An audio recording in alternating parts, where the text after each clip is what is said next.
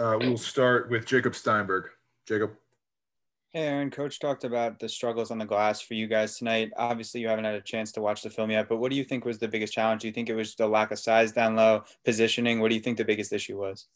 I mean, obviously, you know, they had, I don't know how big the, the kid is, like 6'10, but I mean, they had a little bit of size and length on us, but I mean, we just weren't tough enough to, you know, box out uh, we weren't physical enough down low in the second half. I think we did a really good job in the first half, keeping them off the boards, uh, you know, limiting their second chance points. But in the second half, they were getting offensive rebounds and they were scoring out of them, whether it was tip backs for twos or kickouts and extra three point looks. So, I mean, we just got to be a little bit more physical and, and tougher, uh, you know, in the closing minutes. Emily Giambalvo. Aaron, um, on a somewhat positive note, it seemed like the defense was pretty good in the first half. What do, what do you feel like you guys did or improved upon um, before halftime there? Yeah, I mean, our, our guys were locked in defensively in the first half. Uh, we we emphasized guarding ball screens, keeping the bigs off the boards. Uh, our post defense was working for us. You know, we we contained their their four and their five in the first half.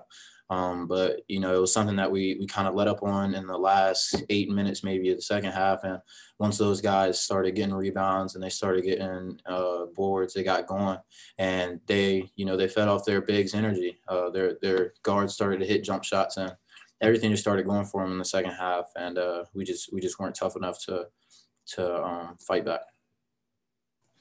Lila Brumberg.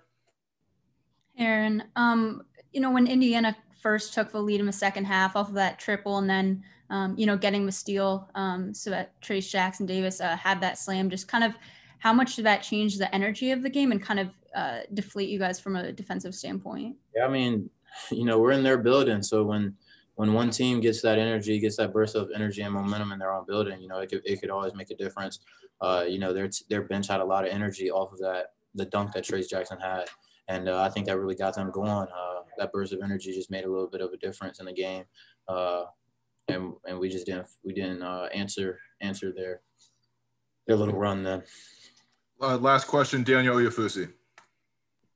Hey Aaron, I know um, last game against Michigan you shot about two for eleven, excuse me, but today you looked a lot more comfortable.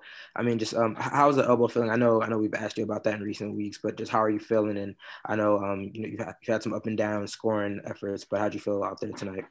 Uh, yeah, I mean my elbow's feeling fine. Uh, you know, I'm still going to continue to wear the pad just for safety and stuff, but uh, I mean, you know, it was a, a decent performance tonight, but as a team, you know, I'm not I'm not worried about the way I play. I, I want to win, and uh, we came up short. We didn't get the outcome that we wanted, and we got to be better because, you know, the way we're playing right now is, isn't getting it done.